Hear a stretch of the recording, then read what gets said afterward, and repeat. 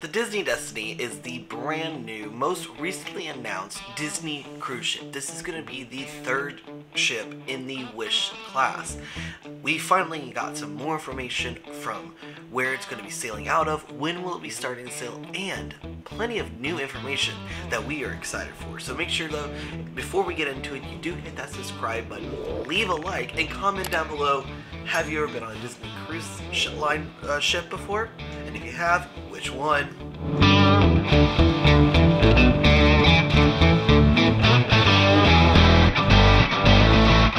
the way we're going to end up doing this is we're going to talk about each little section. We're going to start about some basic information on the Destiny. Then we're going to talk about the Grand Hall, down to the new villain-themed lounges, all the way down to the rooms as well. Some basic information on the Disney Destiny. The Disney Destiny will be calling Port of Everglades its home port down in Fort Lauderdale. Now this is nice because this is the newest uh, year-round port for the Disney Cruise Line. It's their second year-round port after Cape Canaveral. Um, it will begin sailing in late 2025. I've read somewhere in November, but all I'm saying is right now, late 2025 until we can get the itineraries for it. This ship will only be holding around 2,500 guests on board, uh, which is pretty insane because they the Wish class ships only have about 1,258 different cabins.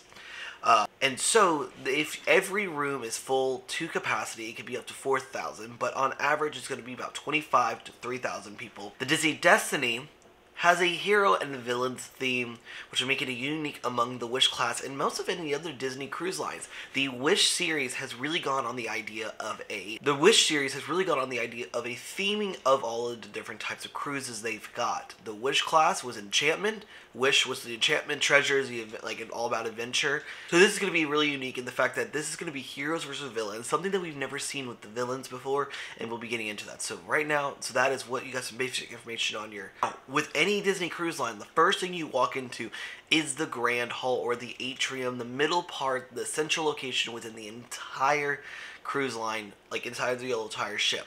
In this area, you do end up having a bronze bronze statue of a character. This is going to be the Black Panther or King T'Challa from the Black Panther series. And I'm really excited about this. A lot of people said, oh, why couldn't you do superhero Goofy? I really like this a lot because there is a lot of Marvel stuff they are looking at doing while they're on this ship. So this Grand Hall Atrium welcomes passengers onto the ship. It'll have uh, pillars adorned with metalwork designed to look like the armor and stacked jewelry for which Wakanda is known for. Now, overhead, they will have a colorful lighting effect will spring from a vibranium-inspired fixture and a statue of Black Panther Black Panther will stand watch. It's to be really cool and I can't wait to see what this actually looks like on the Destiny. It's brand new to the Disney Destiny will be an all-new lounge in De Vil's Piano Lounge. This piano lounge will be themed to the red, white, and black and notorious Cruella de Vil herself. So you're to have a lot of red, a lot of black, and everything else. But not only leaning in only Cruella's signature colors and spots, the adult-only lounge will feature a glamorous Hollywood Regency style you might expect from somewhere this villain would visit. And inside the lounge, you can expect a moody tunes from a spotted piano.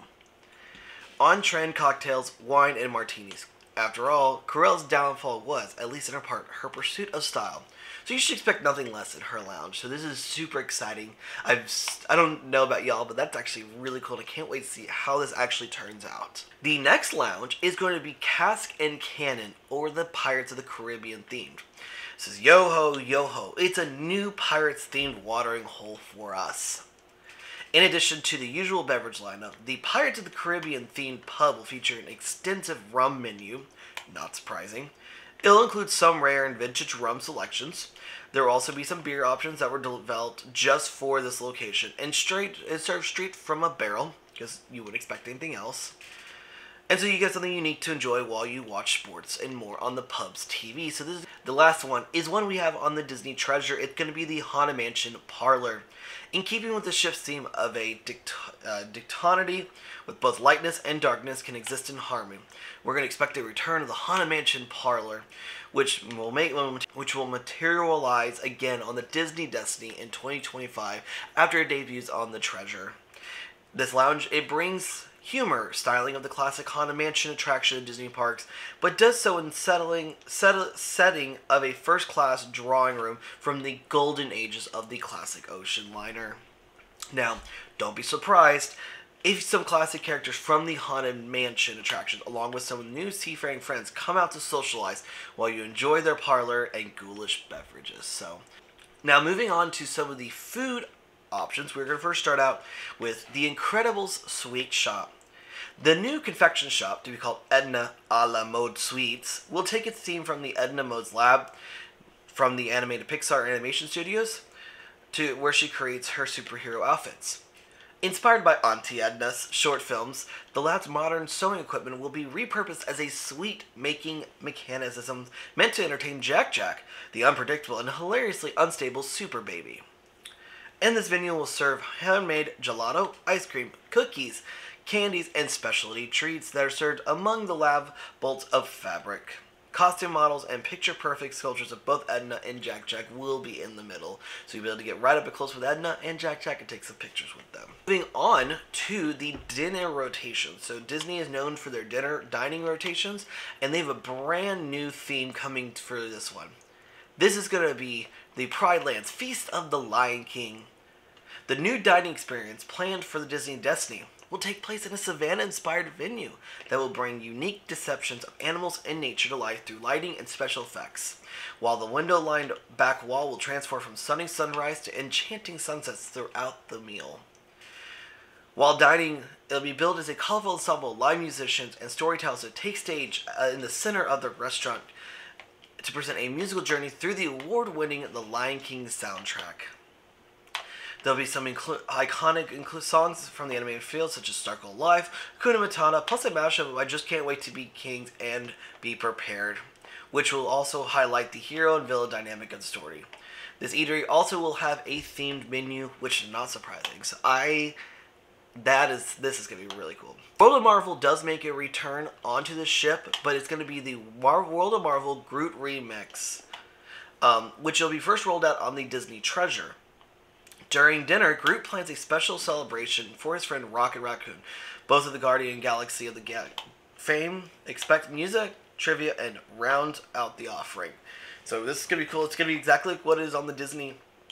The Disney Wish has the um, different version of this. This is the Groot version that's going to be going on the Treasure because the Treasure is going to have the original Wish version and the Groot version as well. And they are bringing back 1923 to this. So just like most ships, the two out of the three dining locations are going to be the same on on all all the same class ships, but you get one different. In fact, this has Lion King themed restaurant. It's going to be right up Kayla's alley.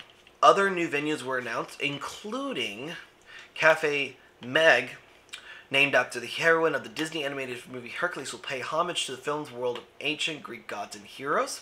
And in the other cafe, Merida will be inspired by the flame-haired heroine of Pixar's Brave with a Celtic-centered design that invokes her family's Scottish Highland heritage. So not only will you be climbing aboard the Disney Destiny, but some of these Disney villains will be following you right behind, with more complicated past. Maleficent, Hades, Cruella de Vil, Captain Hook, Mr. Smee, Oogie Boogie, Captain Jack Sparrow, Bruno, and honestly, Loki, which I love to death, will be joining, and they honestly will be probably be roaming, the ship quite freaking, quite frequently.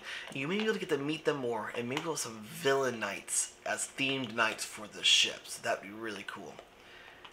So not only do the villains make their way onto the Disney Destiny, they do make their way onto the Aquamouse storyline. The 760-foot on-deck water ride on the Destiny, just like on the Disney Wish and Treasure. However, this time it'll showcase a fourth new show with the villains from Disney Animation Archives and features soundtrack written just for the Disney Cruise Line. In the new Sing a Silly Song story, Mickey and Minnie will trek to the peak of Villain Mountain where you'll encounter notorious favorites such as the Queen of Hearts, Scar, and the biggest and baddest of them all, Chernabog very big thing is all of the cabins. These are going to be hero worthy cabins and suites. Every accommodation on the ship will feature artwork depicting epic journeys of famous Disney legends, a new theme. As all the Disney cruise ships, the rooms will be family focused, with most offerings Disney's signature split bathroom concept. Many of which feature the connecting doors allow for the creation of a bigger accommodation. So if you have two rooms, you can make your room into one giant room to give you more space. Fantasia. Among the accommodation choice will be a concierge classrooms with Fantasia, watercolor style artwork. The rooms will come with the access to exclusive areas, amenities, including a concierge lounge and a private sun deck. If you don't know, concierge is the more expensive option. You get the board pretty much whatever you want. You have lounges where you can go get food, you know, drinks, bottle drinks, canned drinks, any of that stuff. And that's what these this the concierge suites will be all Fantasia themed. You then will also have the Incredibles. In addition, seven special ocean view rooms directly above the bridge with stellar views from floor to ceiling will feature the Incredible themes. There will also be an incredible suite that pays homage to the Incredibles with a streamlined mid-century modern aesthetic going to be Hercules. Other notable accommodations will include four hero suites that celebrate the heroes of Hercules with design inspired by Greco-Roman architecture, colors, and patterns. And so there's this really does have a unique style to be able to look at and see everything front, forward, um, like stack. Um, as you know, on the Disney Cruise Line, the only the rear stack is is the only one that actually like has all the exhaust coming out from the engines. The front forward one is usually the um, tower suite, and this one is going to be all all focused around Iron Man and the more style he has, where you have some some of the uh, aesthetic he would, the very clean cut, the machinery cut things, and might be some hidden gems in there from Iron Man himself. So.